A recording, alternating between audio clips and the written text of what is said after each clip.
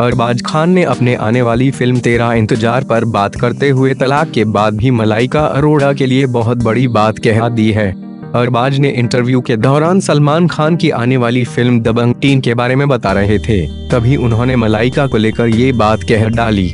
बॉलीवुड की सबसे सफल फ्रेंचाइजी में से एक दबंग के प्रोड्यूसर अरबाज खान ने जानकारी दी है कि दबंग तीन की शूटिंग अगले साल ही शुरू हो पाएगी।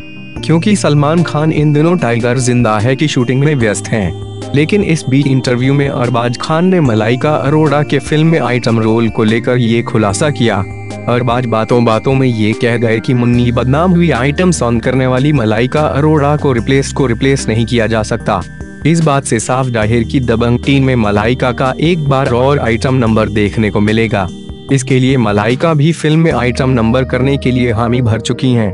बता दें कि कानूनी तौर पर अलग हुए अरबाज और मलाइका का तलाक हो चुका है, लेकिन अभी भी एक दूसरे के लिए कुछ न कुछ पॉजिटिव बोलते नज़र आते हैं।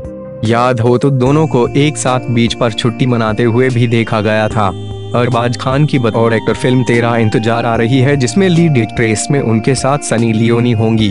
फ़िल्म को राजीव वलिया ने डायरेक्ट किया है और 24 नवंबर को सिनेमा घरों में लगेगी। ये एक म्यूजिकल रोमांटिक फ़िल्म है।